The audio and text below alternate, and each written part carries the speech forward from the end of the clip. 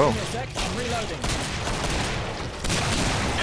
I think the real question everyone needs to ask though is with three supports, should they unweld the door to get the potato? Boys thinking ground. I love it. Wait up,